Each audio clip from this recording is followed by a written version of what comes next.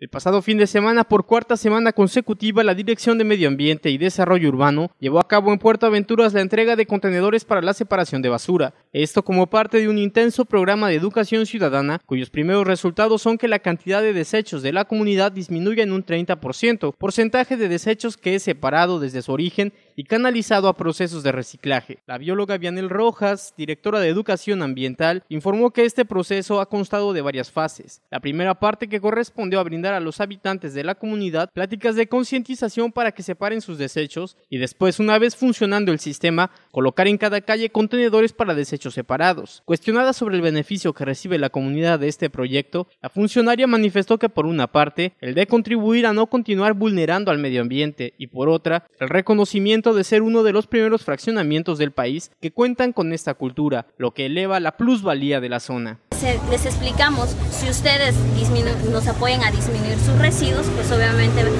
va a causar una mejor imagen.